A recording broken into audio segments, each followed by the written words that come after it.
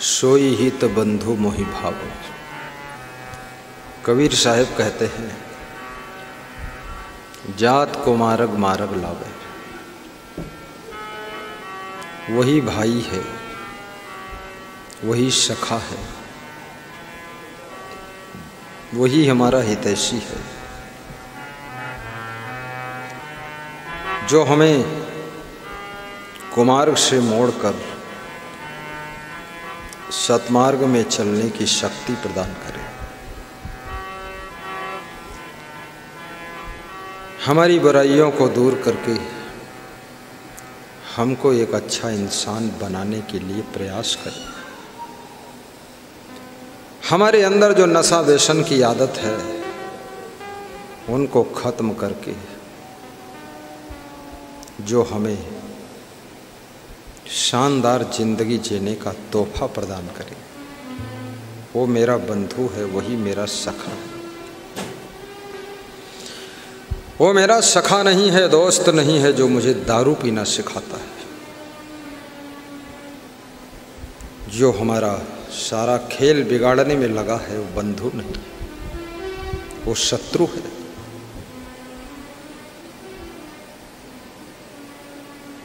याद रखना भगवान श्री राम ने हनुमान जी को भी अपना भाई कहा था।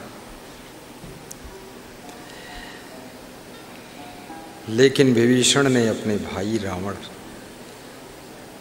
से दूर हो करके रावण कैसे मरेगा, ये उपाय राम को बताया था।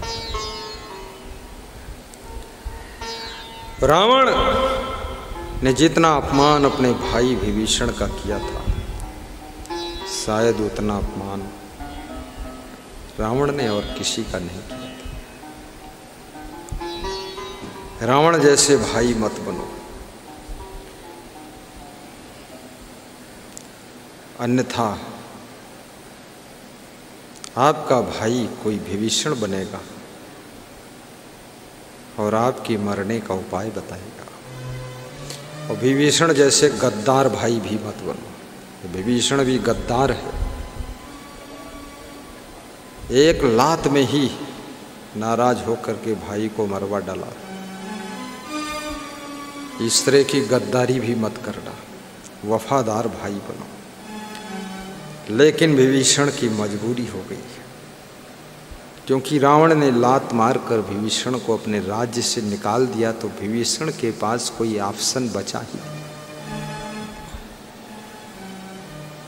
और रावण उसे कहते हैं, जो न पत्नी की सुनता है, न भाई की सुनता है, न किसी की अच्छी बात मानता है, अंगद समझाने जाते हैं, उनकी भी नहीं सुनता है, उसका नाम रावण है। जिन्होंने रावण का रोल अदा किया था उनकी अब मृत्यु हो चुकी है।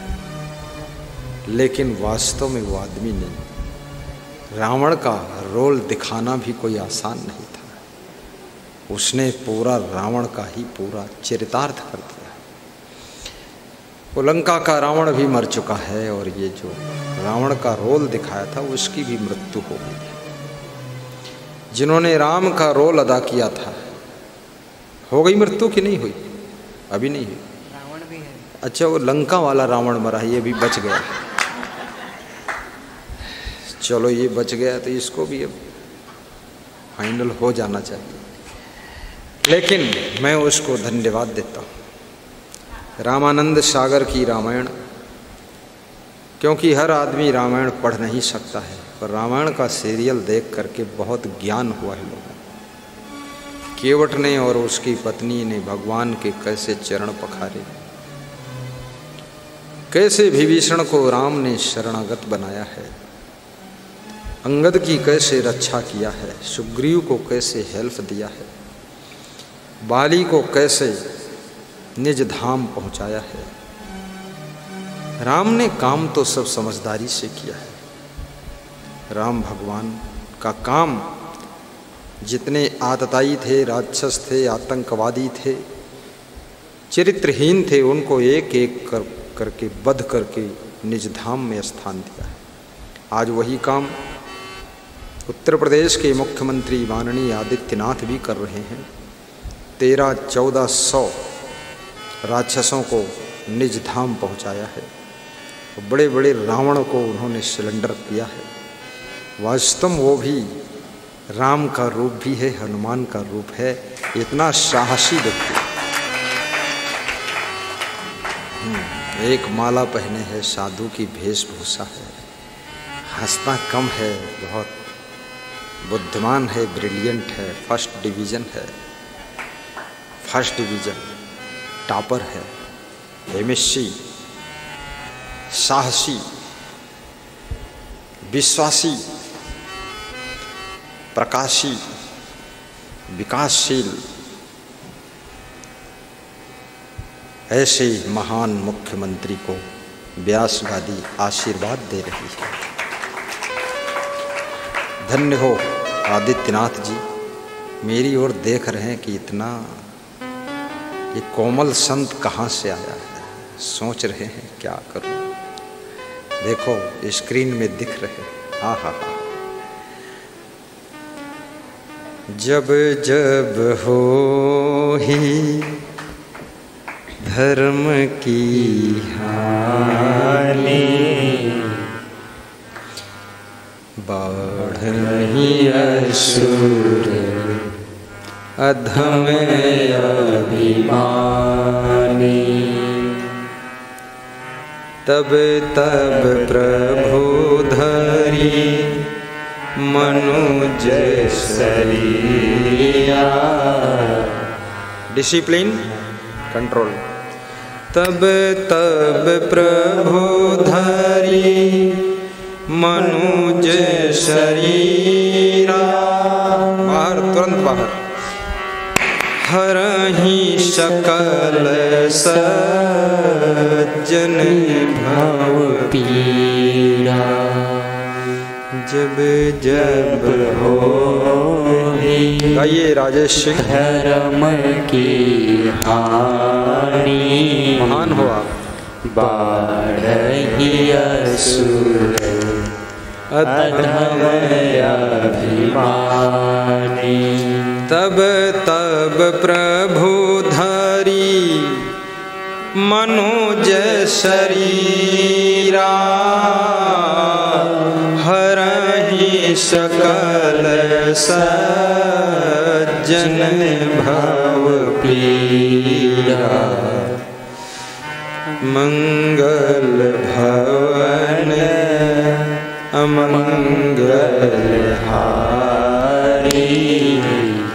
मोसमनाथ कौन अनारी? मङ्गल भवन अमङ्गल हारी मौस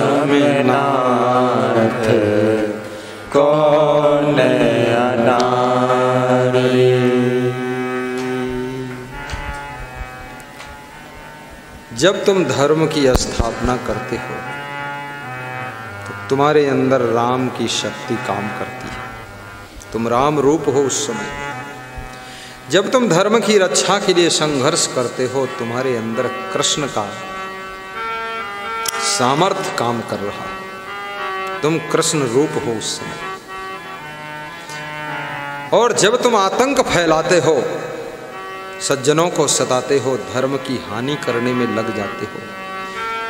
तब तुम्हारे अंदर रावण का प्रभाव झलकने लग जाता है। बाली का प्रभाव। जब तुम अन्याय अनीति पर अनाचार, दुराचार, भ्रष्टाचार, चरित्रहीनता के कर्म करने लग जाते हो, मांस मछली, अंडा, नशा, शराब खाने पीने लग जाते हो जब तुम अपने भाई के साथ में भी दुर्व्यवहार करने लग जाते हो, उस समय तुम रावण का रोल अदा करते हो, उस समय तुम कंस का रोल अदा करते हो, और उस समय तुम बाली का रोल अदा करते हो। इसलिए याद रखना, आज भी लोगों के बीच में राम भी है, कृष्ण भी है, बाली भी है, अंगद भी है, जैसा तुम्हारा कर्म है, वैसा तुमको उपाधि मिल जाती है। इसलिए राम रूप बनो कभी राम बन के कभी श्याम बन के चले आना गुरु जी चले आना। कभी राम बन के कभी श्याम बन के चले आना जय श्री राम। जय श्री कृष्ण। जय हनुमान। चले आना, गुरु जी चले आना। जय कबीर, जय महावीर, जय बुद्ध और जय गुरु नानक देव, जय विवेकानंद, जय जगत गुरु शंकराचार्य। सब महान पुरुषों की जय क्षमा देव, जय प्रेम देव, जय विशाल देव, जय गुरुमन देव। कभी राम बन के कभी श्याम बन के। बहुत सुंदर। चले आना गुरु जी चले आना। ये संत महात्मा ये धर्म की रक्षा के लिए इन्होंने जीवन दान किया।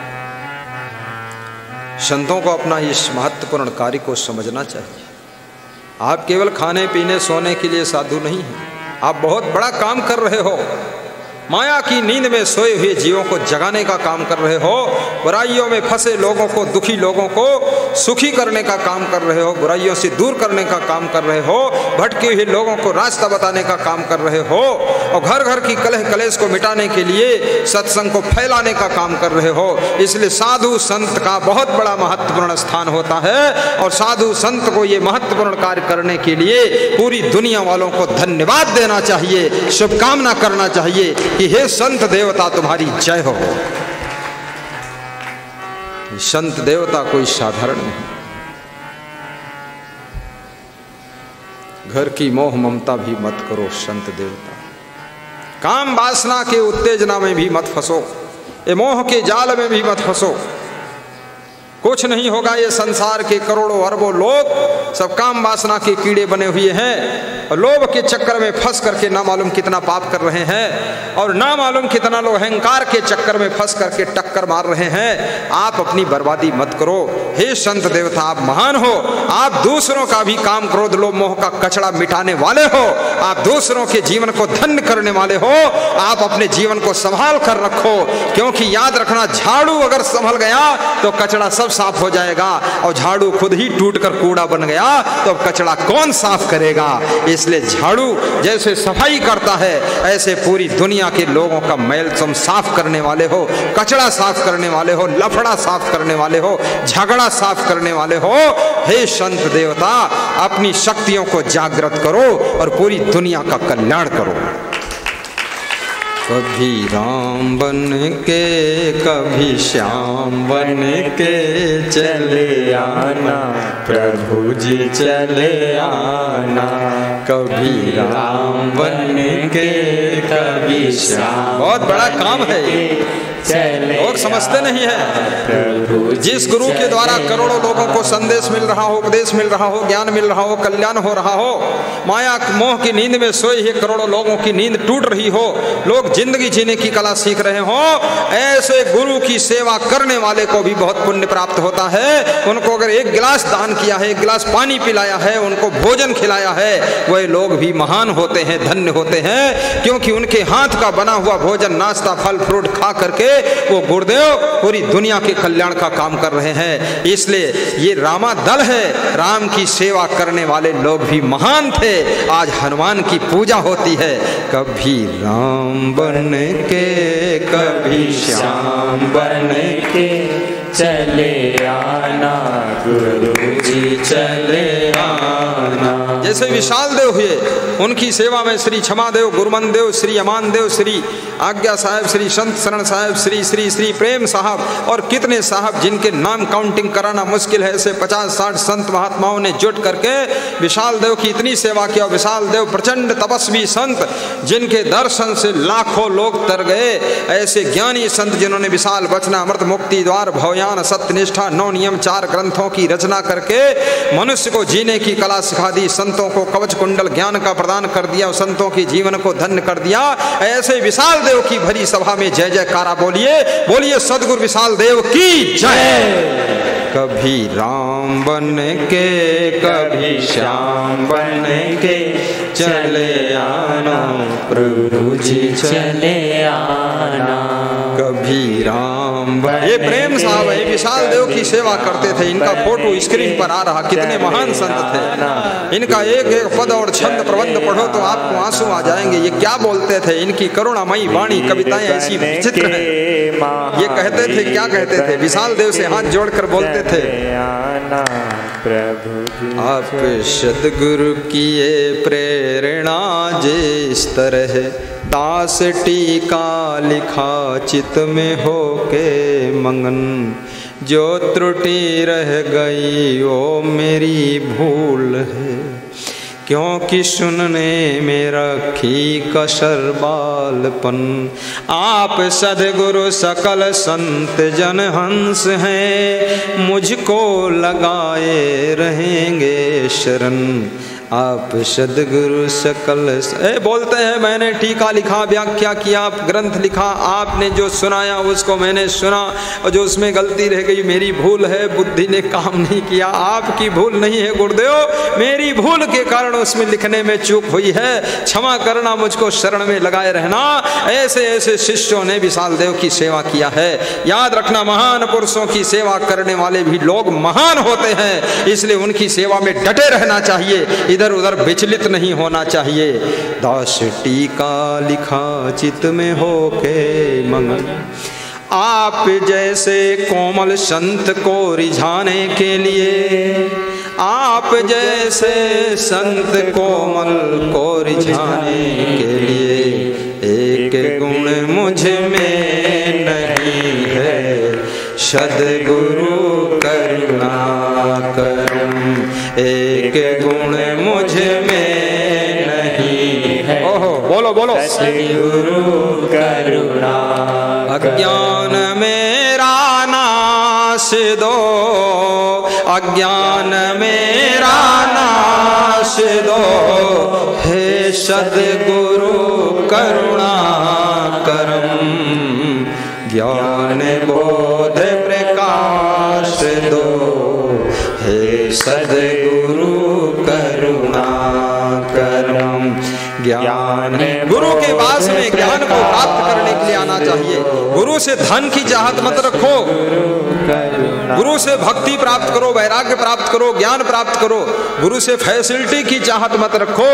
और वहाँ जो भी मिला है खिचड़ी खाने को तो भी अच्छा है। खीर मिले तो भी अच्छा है। चटनी मिले तो और भी अच्छा है। कभी व्रत रहना पड़े तो भी अच्छा है। गुरु के जय खाने पीने की व्यवस्था तो संसार में बहुत मिल जाती है। लेकिन ज़िंदगी जीने की कला संसार में नहीं मिलती है।